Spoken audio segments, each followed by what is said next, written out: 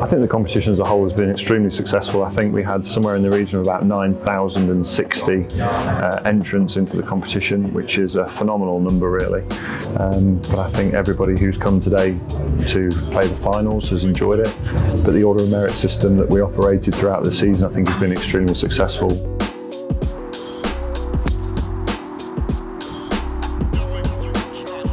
Staysure Senior Stableford, I entered that, um, didn't really think anything of it other than, than, entering. And then I checked, I think in January, and I was surprised to see I was sixth.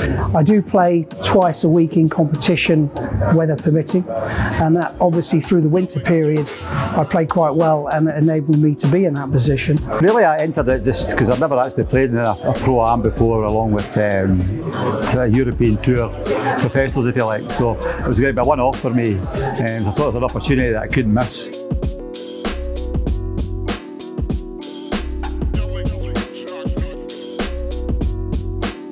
As we got through the summer, I steadily saw myself dropping down the leaderboard, um, but was determined to, to, hang in there. And I'm glad to say that got the, the invitation to play today, and it was an absolute thrill.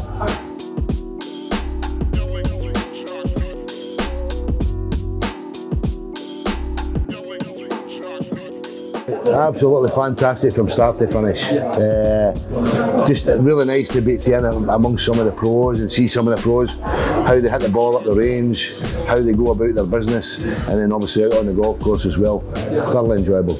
I'm glad HowDidiDo put this together and I'm glad that I made the effort and we came down and done it, you know.